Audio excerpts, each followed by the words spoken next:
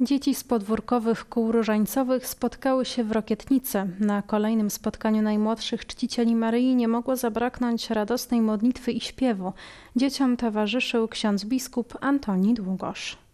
Niech będzie pochwalony Jezus Chrystus i Maryja zawsze dziewica. To pozdrowienie, które towarzyszy słuchaczom Radia Maryja, ale i od lat dzieciom z podwórkowych kół różańcowych. Z wielką radością rozpoczynamy nasze spotkanie, które dzisiaj przeżywamy w parafii Chrystusa Króla w Rokietnicy w archidiecezji poznańskiej.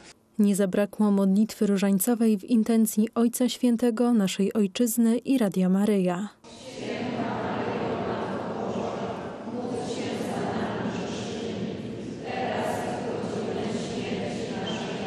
Jak mówi ksiądz Robert Korbik, proboszcz tamtejszej parafii, modlitwa różańcowa pozwala nam zbliżyć się do Boga. Różaniec to jest broń, która Matka Boża dała człowiekowi do tego, aby mógł jak najbardziej się zbliżać do Pana Boga. Więc pięknie, że od dzieciństwa z tym różańcem zaczynamy się zaprzyjaźniać. Podwórkowe koło różańcowe dzieci od lat działa przy parafii w Rokietnicy, za co dziś dziękowała Magdalena Buczek. To jest ogromna radość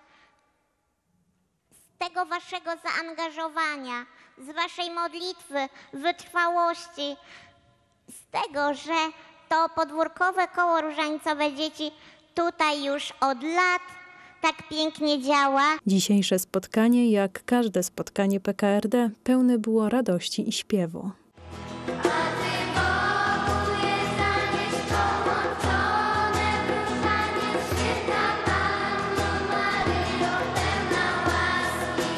Ksiądz biskup Antoni Długosz, wieloletni przyjaciel PKRD, w słowach skierowanych do dzieci podkreślał, jak ważna jest modlitwa i zaufanie Bogu w codziennym życiu. Dzisiaj spotykamy się na mszy świętej, żeby przypomnieć sobie o tym, jak ważną rolę w naszym życiu odgrywa ta modlitwa różańcowa.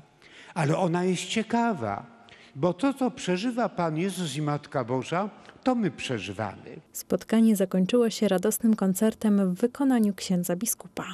Boży Duch wypełnia mnie, jak Dawid śpiewać chcę.